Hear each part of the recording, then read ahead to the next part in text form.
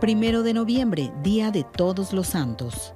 El Día de Todos los Santos es una solemnidad cristiana que tiene lugar el primero de noviembre para las iglesias católicas de rito latino y el primer domingo de Pentecostés en la iglesia ortodoxa y las católicas de rito bizantino. No se debe confundir con la conmemoración de los fieles difuntos. En este día, la iglesia celebra la fiesta solemne por todos aquellos difuntos que habiendo superado el purgatorio, se han santificado totalmente, han obtenido la visión beatífica y gozan de la vida eterna en la presencia de Dios. Por eso es el Día de Todos los Santos. No se festeja solo en honor a los beatos o santos que están en la lista de los canonizados y por los que la Iglesia celebra en un día especial del año. Se celebra también en honor a todos los que no están canonizados pero viven ya en la presencia de Dios. Es frecuente que este día las grandes catedrales exhiban las reliquias de los santos.